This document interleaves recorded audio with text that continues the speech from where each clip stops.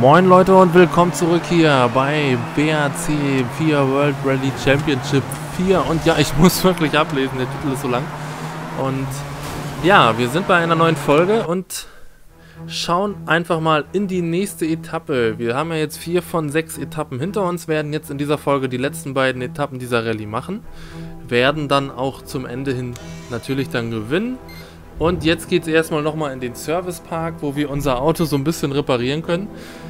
Äh, ja, der Pontus Tiedemann wollte wieder nicht so viel Druck machen, weil er sonst Fehler gemacht hätte. Kann ich verstehen. Habe ich auch manchmal das Gefühl. Und so, wir gucken erstmal. Das Auto ist ja doch schon so ein bisschen im Arsch. So, Fahrzeugreparatur. Das ist schon rot, die Federung. 16, ja, machen wir mal. So, Karosserie 25. Eieiei. Ja, machen wir auch mal. Dann haben wir hier noch was. Die Reifen 6 Minuten. 13 Minuten haben wir noch. Auspuff. Nehmen wir den Auspuff. So, dann haben wir es eigentlich zeitlich ganz gut gemacht. Und dann wollen wir natürlich gleich weiter gucken. Jetzt sieht es doch schon wieder viel schöner aus. Wir können auch mal in das Fahrzeug-Setup reinschauen. Vorderachse. Hier kann man dann ein paar Feineinstellungen quasi vornehmen. Traue ich mich jetzt aber nicht so richtig ran. Daten. Ah, da können wir es dann speichern. Hier können, haben wir noch Karosserie, Bremsverteilung, Fahrzeughöhe. Ja, kann man alles einstellen. Aber ich denke mal, mit den Standardeinstellungen sind wir schon nicht so verkehrt. So, dann würde ich sagen, geht's mal ab auf die vorletzte, vorletzte Etappe dieser Rallye. Und ich bin mal gespannt. So, er fährt wirklich gut hier in Deutschland, aber ein paar der Abschnitte in den heutigen Specials könnten uns einen Vorteil verschaffen. Ja, das werden wir dann wirklich sehen. Äh, ich denke nämlich mal nicht. Wir schauen mal ganz kurz auf die Strecke. 5,9 Kilometer, die längste Etappe ist Stein und Wein. 67% trockener Asphalt, 33% verstaubter Asphalt und so richtig schwierig wurde es noch nicht.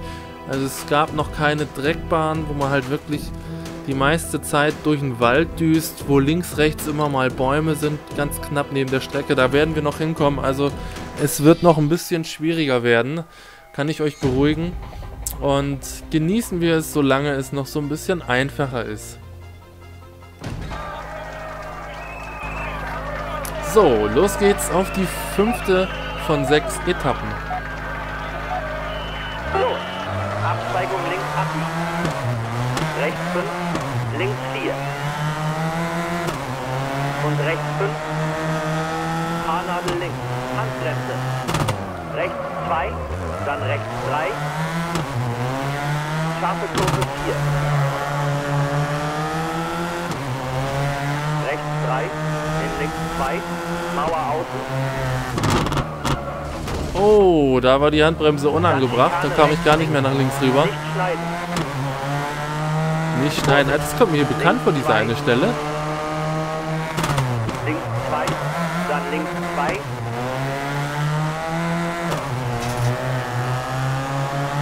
In rechts 2. Hey. Vorsicht! So, einmal kurz die Wand geknutscht. Öffnet sich. Links 4, dann links 3, dann rechts 3. So, und falls jemand von euch bei der ersten Folge nicht dabei war, umso größer die Zahl, desto rechts 3. weniger eng ist die Kurve. Also wenn wir hier eine Dreierkurve haben, die ist deutlich enger als eine Sechserkurve. Die 1 ist dann natürlich so eine Haarnadelkurve. Da muss man dann die Handbremse dazu nehmen, damit man da vernünftig rumkommt. Erster Sektor drei, 5 dann Sekunden schneller als die anderen. Rechts 3, Abhang außen. Verläuft also ungefähr so wie die anderen auch. Und da haben wir unseren ersten schönen Abhang. Schade, es gab früher wirklich Spiele von 60. Codemasters, da hat man richtig noch sehen können, wie das Auto da unten aufdetscht und alles hinübergeht. Mittlerweile wird man mal wieder auf die Strecke zurückgesetzt. In rechts 4. Hey, Vorsicht! Autsch. Rechts 6, dann So, das war aber mal eine harte Kante hier. So, da müssen wir jetzt ein bisschen aufpassen, damit wir das Auto hier nicht vor der letzten Etappe komplett zerschroten, weil wir können es zwischendurch jetzt nicht mehr reparieren.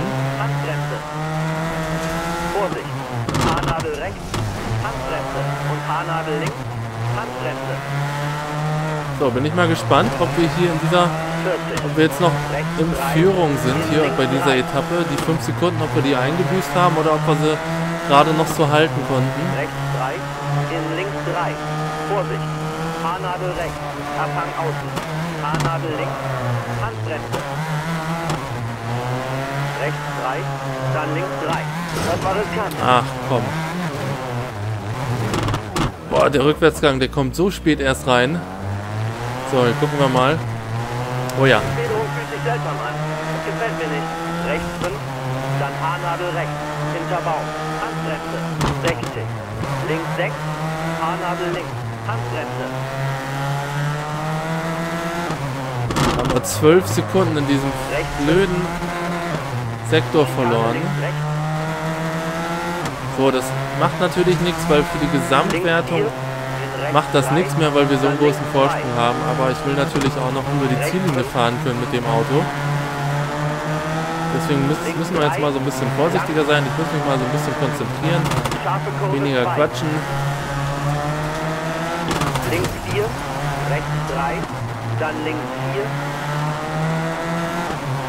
In Haarnadel rechts, Handbremse. Links 6, dann rechts 6. Vorsicht, Abzweigung links ab, Handbremse. Links 4, in rechts 3, dann links 3, Mauer innen. Rechts 4, sehr lang. 80. Vorsicht. Rechts 3. Abhang außen. Dann links 3. Öffnet sich Oh, 4. aufpassen. Mittig halten. Gerade noch 4, gut gegangen. Links 4. Dann rechts 3. Links 3. Dann rechts 5. Und links 6. Vorsicht. Oh, oh, oh. Das, also das Auto macht echt Probleme gerade. Das haben wir echt richtig schön zu Schrott gefahren ne?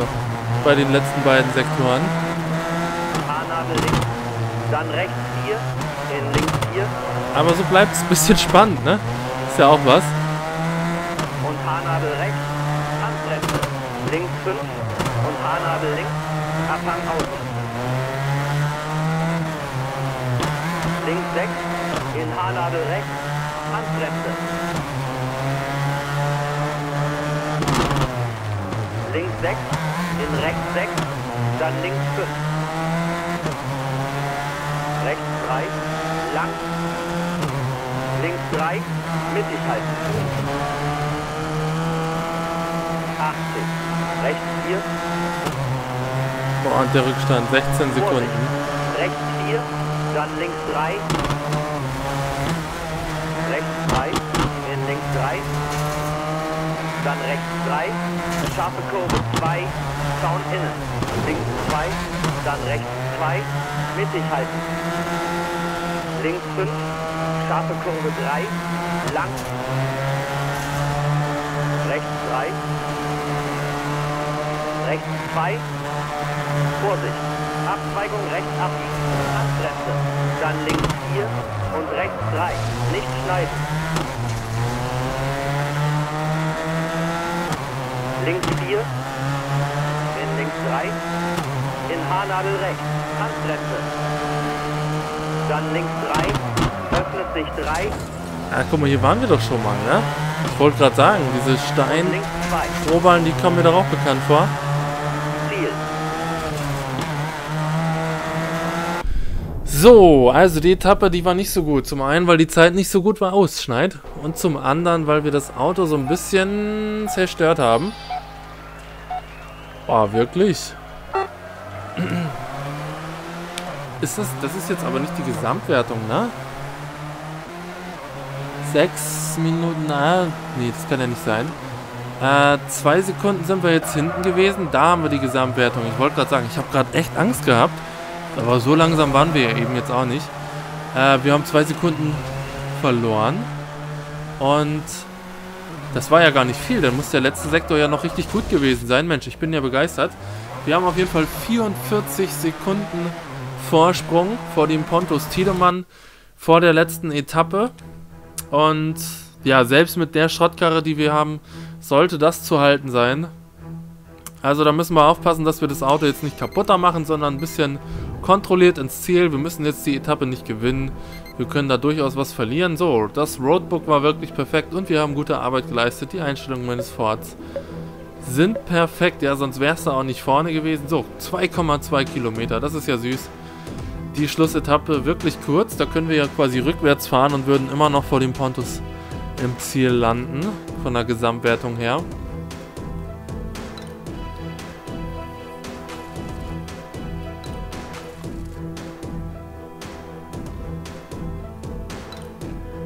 Das Drohntal. Ja, da sind so, in der Mitte sind so ein paar Serpentinen, da müssen wir ein bisschen vorsichtig sein, aber ansonsten habe ich da jetzt keine großartigen Schwierigkeiten äh, finden können. So, das Auto ist natürlich... Alter, das Auto ist natürlich nicht mehr so richtig toll. Aber gut, damit müssen wir jetzt hier einmal kurz um den Kurs rum. Dann rechts 4, mittig halten. In links 2. Rechts 2, Oh, in aufpassen. rechts 2. Ja, passt. Links 2. Und 60. Schikane rechts, links. 80. Rechts 3. So, haben wir sogar Vorsprung. Dann rechts 4, links 3, in links 2. Vorsicht, Abzweigung rechts abbiegen, Handbremse. Links 3, in rechts 3. Die Federung fühlt sich seltsam an. Gefällt mir nicht. Links 5, in Haarnadel Mir gefällt das ganze Auto nicht. Die Federung ist mir da schon einerlei. Dann rechts 3, Zaun aus. Aber der Vorsprung wächst. Und links 4, lang.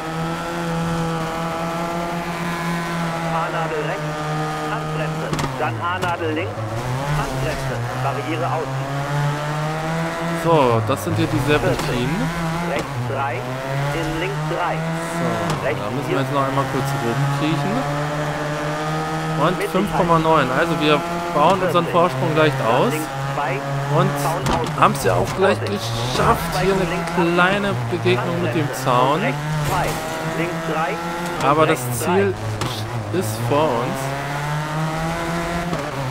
Links 4 und rechts 3. Haarnadel rechts. Handbremse. So, hier müssen wir nochmal aufpassen. In rechts 3. Sechs Sekunden, also auch der Sektor gehörte 40. uns. In Haarnadel links und Haarnadel rechts. Handbremse. Links 4, dann rechts 4. Vorsicht. Abzweigung links abbiegen. Handbremse. Dann links 4. Lang. Geschafft. So, und da vorne ist das Ziel. Und damit sind wir quasi nicht nur Etappensieger, sondern auch Sieger der Deutschland-Rallye. Gut, das ist jetzt noch der Junior-Bereich gewesen. Äh, sieben Sekunden haben wir hier. In der Gesamtwertung liegen wir dann 52 Sekunden vor dem Typen. So, das Ziel war sechster Platz. Wie hätten wir denn Sechster werden sollen? Äh, Rallye-Konkurrent, ja. Wir haben insgesamt 11 Ruf, 11.000 Rufpunkte geholt. Damit werden wir dann uns wahrscheinlich bewerben können bei besseren Teams, bei besseren Veranstaltungen. Es wird natürlich dann auch ein bisschen schwieriger werden. Und was hat er zu sagen? Ich habe im Laufe des Wochenendes viele kleine Fehler gemacht. Ich muss einfach präziser sein, wenn ich den LP nächstes Mal schlagen will. Den LP, also der Nachname, das klingt doch ein bisschen bescheuert. Aber gut. So, am Ende der Rallye kommen die Fahrer zurück in den Servicepark, um die Rallye zu feiern. Ja, schön. Äh, feiern müssen wir jetzt nicht. Das ist jetzt noch kein großer Triumph gewesen. Wir müssen zusehen, dass wir jetzt ein paar gute Angebote an Land ziehen.